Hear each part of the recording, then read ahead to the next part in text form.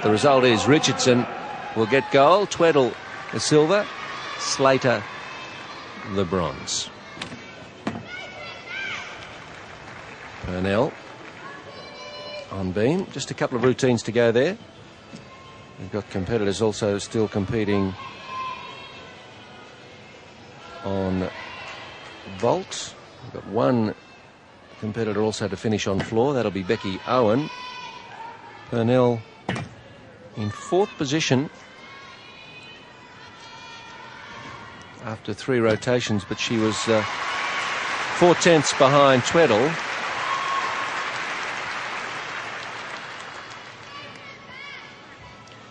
And highly unlikely to get a 9 4 on beam.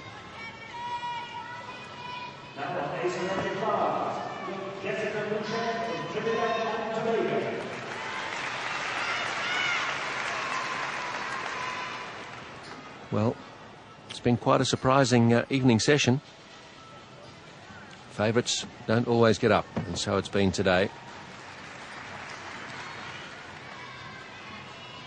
The top three qualifiers were from Australia, but one and two will go to Canada and England.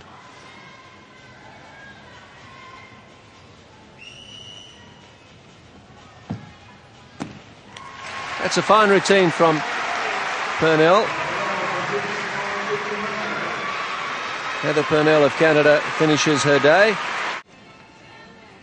Purnell, 8.475 and fifth place at the moment.